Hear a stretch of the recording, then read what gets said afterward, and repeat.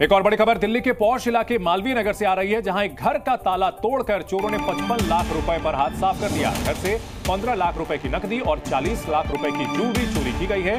पीड़ित की शिकायत पर पुलिस ने मामला दर्ज कर लिया है। बताया जा रहा है कि वारदात 8 मई की सुबह करीब 11 बजे हुई थी, जब पीड़ित के घर पर कोई मौजूद नहीं था। वहीं पुलिस का कहना है कि एक चोर की लोकेशन मिल चुकी है। सीसीटीवी फुटेज भी सामने आई है, जिसमें देखा जा सकता है किस तरह से ये चोर घर के अंदर घुस रहा है। पचपन लाख रुपए पर हाथ साफ़ कर दिए। हम लोग अपने आप को इस एरिया में सुरक्षित फील नहीं कर रहे हैं। उसका मेन रीजन यही है कि पुलिस वालों के पास आज के डेट में सीसीटीवी फुटेज है। उन लड़कों जिन्होंने चोरी करी है उनकी फ़ोटोज़ है। सब कुछ है इनके पास उसके बावजूद भी कुछ एक्शन नहीं ले रही है पुलिस इन्होंने एक चोर को पकड़ा मतलब ये कह रहे थे उन पाँचों में से एक बंदा ये था इन्होंने सीसीटीवी फुटेज दिखाई मुझे। और बाद में अब जाकर कहते हैं कि उसको जमानत मिल गई है उस चोर को उस चोर को छोड़ दिया।